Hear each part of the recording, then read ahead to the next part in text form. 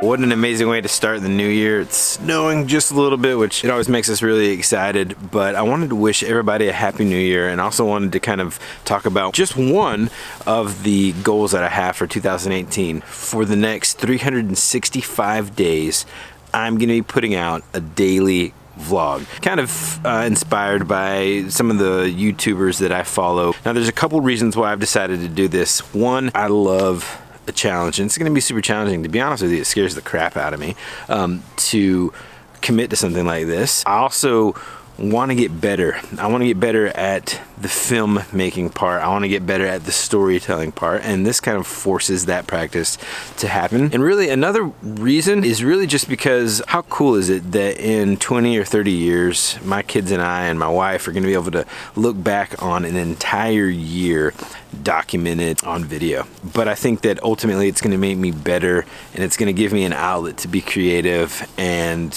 um, it's just gonna be fun. 365 days, whether it's a day in the life of an adventurous insurance agent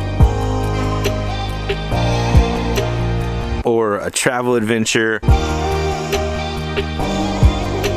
or riding in a helicopter while it's raining and crazy in Seattle.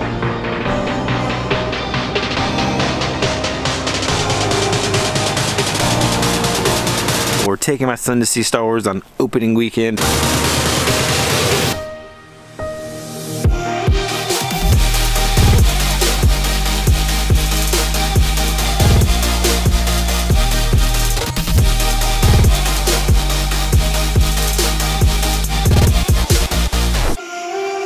Whatever it is, it's going to be documented it's going to be right here for you to enjoy and for us to enjoy in the future. I'm only putting it on YouTube, so be sure to subscribe to the channel. Come back and check it out. Hope 2018 is the best year yet of your entire life. If 2017 was the worst, do something different to make 2018 better. That's the only way that you can make anything better is change and hard work.